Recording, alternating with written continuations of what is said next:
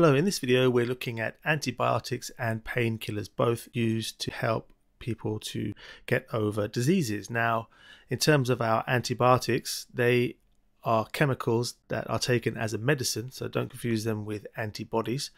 They are medicine that's taken in order to kill bacterial pathogens. So, if we've got infected, for example, by the bacteria shown in the top left there, those green ones, we can use antibiotics to help kill those bacteria and they can be gotten rid of and the person can be made well again using specific types of antibiotics. Now you might be infected with another kind of bacterium. So imagine we go to the top right now, that's a totally different pathogen but still bacterial. You can still treat with antibiotics but you often need different antibiotics for different uh, bacterial pathogens. So in this case, we might use antibiotic B. Let's call it antibiotic B. And the first one, we could call it antibiotic A. Names of specific ones aren't really necessary. Uh, and again, we could go to look at the bottom right bacteria, and you could, for example, use a third antibiotic, antibiotic C, to treat those. So antibiotics are often very specific to the types of bacteria that cause of disease and that you are dealing with.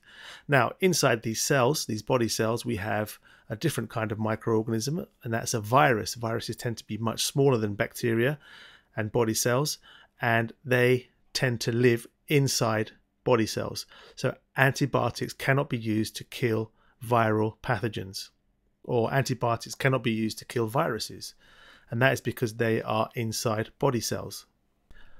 So there we go. The viruses are found inside cells, so you can't really get to them. It's hard to treat diseases that are caused by viruses because it's hard to kill the viruses without actually damaging the body tissue as well. So if you damage the body tissue, obviously that's not good, and it's hard to kill the virus without damaging body the body tissue itself. So these are the the antibiotics can be helpful for bacterial diseases, but not with viral diseases. So doctors don't tend to give antibiotics when they know it's a viral disease. What they might give is something like a painkiller. So painkillers tend to be aspirin, paracetamol, ibuprofen, and these what they uh, what the painkillers do is they help to treat the symptoms of the disease. So if the symptoms include say headache, runny nose, cough, uh, any kinds of aches and pains or fever, what the painkillers do is to relieve those symptoms or treat those symptoms while your body deals with the pathogens inside and that could be viral or uh, bacterial. You can take painkillers often with antibiotics so you don't feel the symptoms while your body's getting better.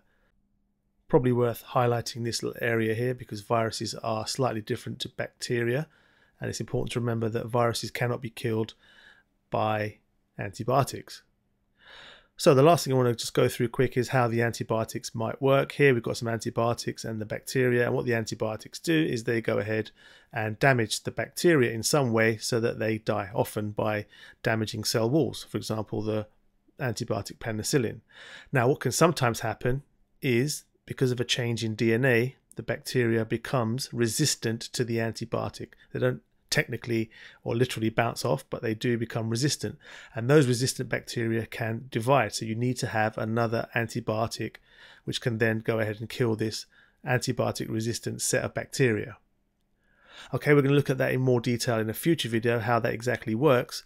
But the point here is that while antibiotics have saved millions of lives from bacterial diseases, it's important that um, they're not overused so that antibiotic resistance bacteria emerge and it's also becoming an increasing worry because more and more bacteria are becoming resistant to antibiotics. So it's something that has to be thought out very carefully for the future